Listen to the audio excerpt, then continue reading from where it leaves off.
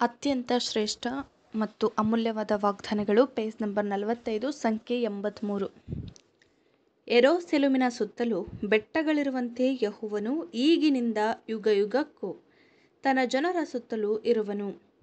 ಕೀರ್ತನೆಗಳು ನೂರ ಇಪ್ಪತ್ತೈದನೇ ಅಧ್ಯಾಯ ಎರಡನೇ ವಚನ. ನಾವು ಸರಿಯಾಗಿ ಗುರುತಿಸುವಂತೆ ಎರೋಸೆಲೆಂ ಪಟ್ಟಣವು ಬೆಟ್ಟದ ಮೇಲೆ ನೆಲೆಯಾಗಿದೆ ಮತ್ತು ಬೆಟ್ಟಗಳು ಅದರ ಸುತ್ತಲೂ ಸೈನ್ಯಗಳ ಪಾರ್ಶ್ವದಂತೆ ಸುತ್ತುವರೆದಿರುವುದರಿಂದ ಶತ್ರುಗಳು ಯಶಸ್ವಿಯಾಗಿ ಆಕ್ರಮಣ ಮಾಡುವುದು ತುಂಬ ಕಷ್ಟ. ಬೆಟ್ಟ ಗುಡ್ಡಗಳಲ್ಲಿನ ಅದರ ಮಾರ್ಗಗಳು ಸುಲಭವಾಗಿ ರಕ್ಷಣೆಗೆ ಒದಗಿಸುವುದರಿಂದ ಅಲ್ಲಿಗೆ ತಲುಪುವುದು ಕ್ಲಿಷ್ಟಕರವಾಗಿದೆ.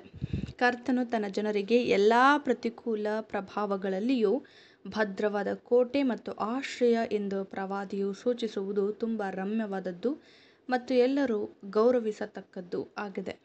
ಆಮೇಲೆ